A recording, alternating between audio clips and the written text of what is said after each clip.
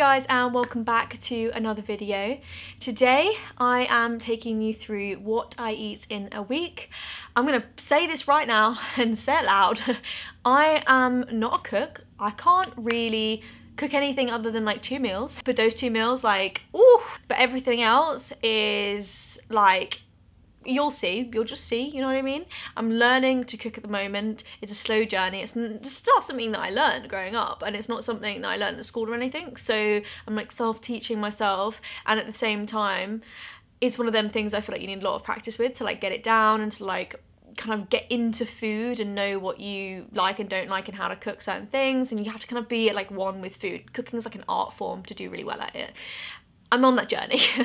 but I wanted to kind of take you through what I eat in a week. I am trying to go vegetarian, stroke vegan, but I'm not like strict on that. I just want to eat less meat and eat less animal products in general for health benefits and also for the environmental benefits. At the moment, all I eat is the occasional bit of chicken or in this video, fish as it turned out. But I normally aim to eat meat once a week and then also pizza. Like I just can't find any good vegan pizzas. So yeah, that's that's why we're still on the pepperoni pizzas.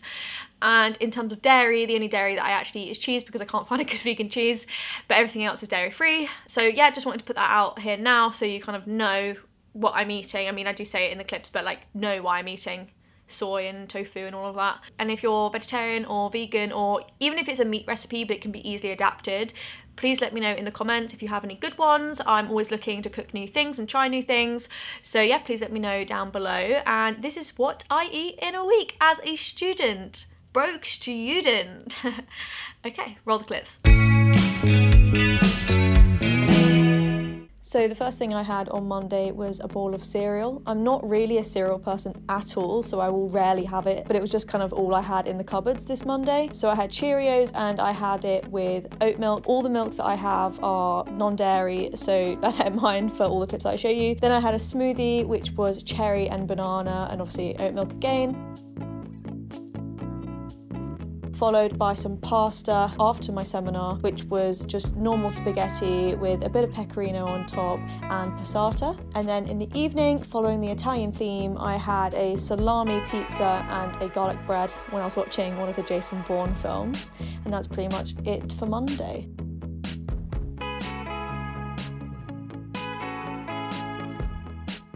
So I started Tuesday morning off with two croissants and a bit of butter. This is much more my type of breakfast. I prefer pastries first thing in the morning with a hot drink. Here, it's not pictured, but I had a lemon tea. And then for lunch, I had this like cheese bread with a tomato soup, which is also kind of like my go-to lunch when I want something quick. And I had a chocolate chip muffin afterwards because they need to be used up. And then for dinner, I had this cod with a lemon and herb seasoning and salad. I'm trying to not eat meat and fish as much as possible, but you know, there's an odd time once a week where I just tend to have it. So for Wednesday, I had more time to cook breakfast in the morning. So I had a bagel with a fried egg, this fake vegan bacon, and then a bit of cheddar cheese. I'm still yet to find a good vegan cheese. So if you know any, let me know in the comments. Had this with an orange juice. And then for lunch, again, I had another tomato soup, but this time I had it with one of those baguettes, you know, like you can keep in the cupboard and then just bang them in the oven whenever you want them. One of those. Then for Wednesday evening, I cooked a risotto. This is one of my favorite meals to cook and probably one of the only things I can actually cook. So the way you cook this is I do it with soy rather than chicken and then red onion, the arborio rice, bang in some passata and some vegetable stock and then just bang a little bit of butter and cheese in at the end and that's pretty much it. And I also made enough for tomorrow. And then after that I wanted a sweet treat because I was watching The Crown on Netflix. So I had this chocolate cake and some vegan ice cream.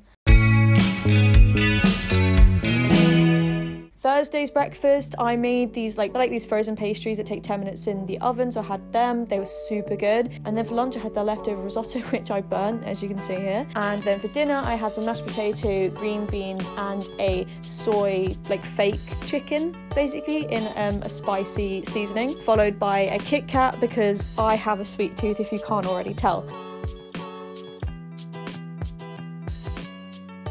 Then finally for Friday, I had the same like breakfast muffin thingy, so fried egg, fake bacon, a bit of cheese in a bagel, and then for lunch I had a salad with the same chicken, soy, basically fake chicken in a spicy seasoning that I had the day before. And then in the evening on Friday, I made fajitas, and other than risotto, this is probably the only other thing that I can cook. So I did this with red pepper, onion, and soy with a bit of lettuce. And then rather than having a pudding, I just had a banana and peanut butter smoothie to kind of take away my sweet cravings for that evening. And that's all I had that week.